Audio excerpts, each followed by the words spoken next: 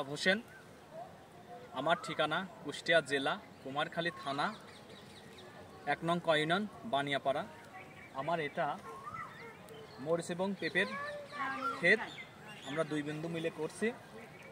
গত সপ্তাহে আমি দশ মন মরিচ উত্তোলন করছি। আমাদের কুষ্টাতে তাপমাত্রা একচল্লিশ, বিয়াল্লিশ, তেতাল্লিশ ডিগ্রি। অতিরিক্ত তাপমাত্রার কারণে আমি এই মরিচ খেতে তিনটা সমস্যার সম্মুখীন হচ্ছি। ডোগাগুলো সব কুকড়ে যাচ্ছে, মরিচ গাছের ডোগাগুলো পচে যাচ্ছে, আর যত ফুল ছিল এই ফুলগুলো ঝরে যাচ্ছে, নষ্ট হয়ে যাচ্ছে। এই অবস্থায় আমি আপনার কাছে পরামর্শ চাচ্ছি। আমরা দেখতে পাচ্ছি যে মরিচ ক্ষেত সাধারণত অতিরিক্ত তাপমাত্রার কারণে কুশি পাতাগুলো হলো বাঁকা হয়ে যাচ্ছে। আর আপনারা দেখবেন যখন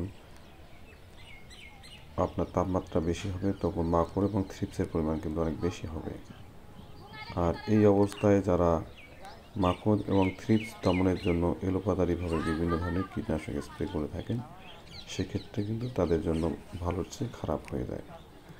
আর অবশ্যই অবশ্যই আপনাকে খেয়াল করতে হবে, এই ধরনের যারা সবজি চাষ করেন তাদের ক্ষেত্রে আপনারা যদি এরকম তাপমাত্রা অনেক বেশি হয়, তাহলে আপনারা মধ্যরাতে বা সন্ধ্যার এক দুই ঘণ্টা পরে যখন আবহাওয়াটা একটু ঠান্ডা হবে, সেই সময় আপনারা সেচ প্রদান করবেন।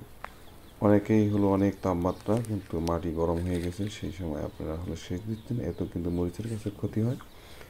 আর এখন এই মরিচ গাছের জন্য করণীয় আপনাদের যেটা করতে হবে, সেটা হলো নির্বাণ লিটারে আগে মেল হারে সুন্দর করে স্প্রে করে দিতে হবে। নির্বাণ লিটারে এক এম ওর সাথে হলো মসপি লিটারে এক গ্রাম দিয়ে হলো স্প্রে করতে হবে। দ্বিতীয় স্প্রে, দুই দিন পরে দিবালা লিটারে আড়াই গ্রাম হারে স্প্রে করতে হবে। আর তৃতীয় স্প্রে হলো জিঙ্ক লিটারে হাফ গ্রাম সলবার বোরন লিটারে হলো দেড় গ্রাম আর এর সাথে আপনারা অ্যাড করে দিবেন সালফার এইটটি পারসেন্ট অর্থাৎ মাইটিভিট লিটারে হলো তিন গ্রাম। আমি যে স্প্রেটা বলছি, ঠিক দুই দিন পর পর আপনারা স্প্রেটা হলো বিকালে করে দেবেন। তাহলে আপনার এই মরিচের গাছটা ঠিক হয়ে যাবে। আমি জানি বাংলাদেশে অনেকের মরিচের ক্ষেত্রেই হলো এই সমস্যা দেখা দিয়ে থাকে।